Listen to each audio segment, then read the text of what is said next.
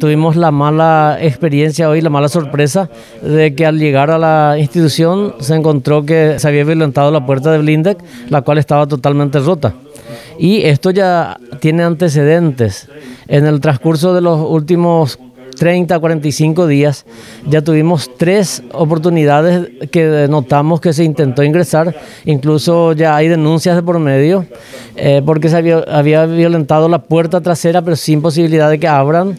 En otra oportunidad encontramos destechado, o sea, varias tejas que faltaban, pero no pudieron entrar porque tiene machimbre, pienso yo.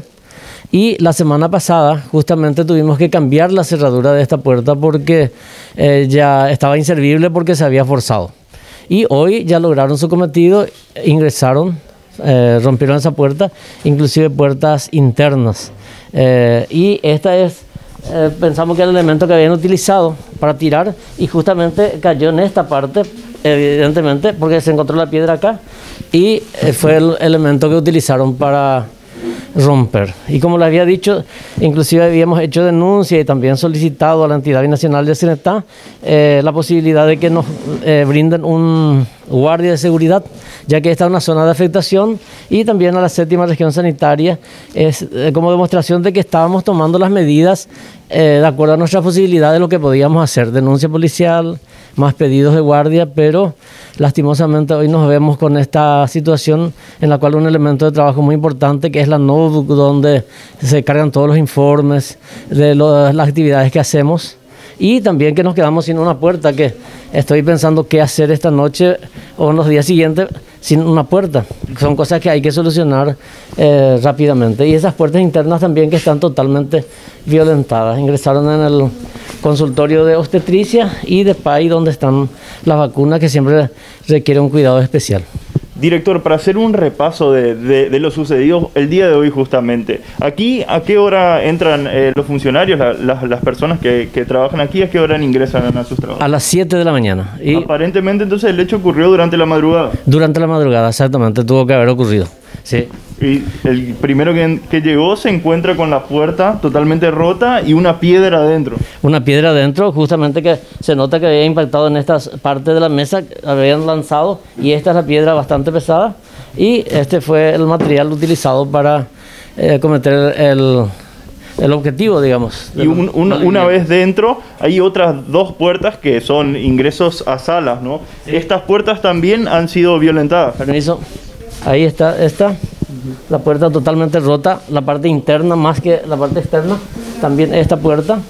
Y para, eh, porque en este sector justamente por eso ya no dejamos nada y ya veamos como segunda medida de seguridad eh, las siguientes puertas, inclusive esas violentaron. Bien, eh, entre los objetos que, que, había aquí dentro, ahora en, lo primero que pueden identificar es que falta una notebook. Exactamente, es lo único que hasta ahora estamos notando de que falta y que es lo más importante porque todas las actividades que se realizan en la unidad de salud eh, son registrados en ese elemento. Claro, tienen su base de datos de los clientes que pasan por aquí. exactamente, y sí, y una página del ministerio donde se cargan todos los eh, pacientes, informes de vacunación y todas las actividades que se realizan. Ahora nos comentaba también que en el transcurso del mes y medio de aquí hacia el pasado, tres veces más les intentaron entrar aparte de esta. Sí, tres veces la que tenemos, eh, las que nos dimos cuenta. En una oportunidad la puerta trasera encontramos que se había forzado pero no lograron abrir.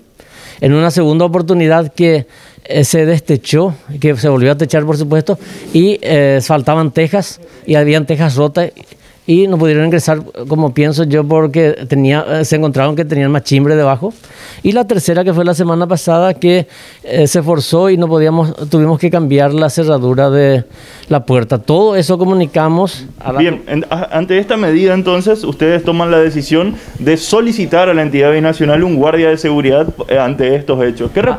¿qué respuesta obtuvieron ahí? No, y hasta ahora no, no tuvimos ninguna respuesta. Esto tiene mesa de entrada el 7 de julio, dirigido al director eh, nacional de la entidad, el doctor Nicanor Duarte Frutos.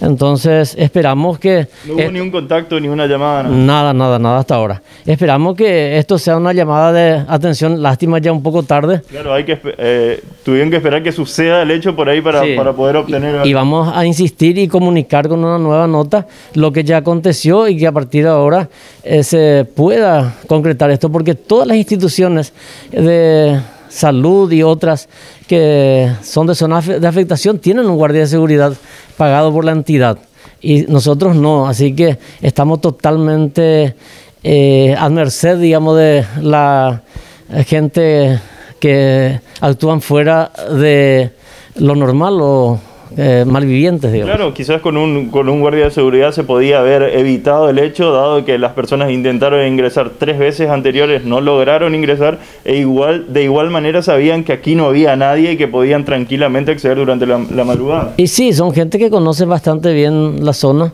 y como le dije, es bastante oscuro en esta zona, este lugar. Y justamente la semana pasada yo había solicitado a la municipalidad y que acudieron rápidamente eh, para eh, podar los árboles porque eh, prácticamente una oscuridad total. Y todas las veces anteriores también habían realizado correspondientes. recordemos que estamos aquí muy cerquita de la, de la comisaría. Siempre se realizaron la- las denuncias correspondientes. Sí, realizamos las denuncias correspondientes. Hoy fue la tercera denuncia que se hace con, con esta, digamos.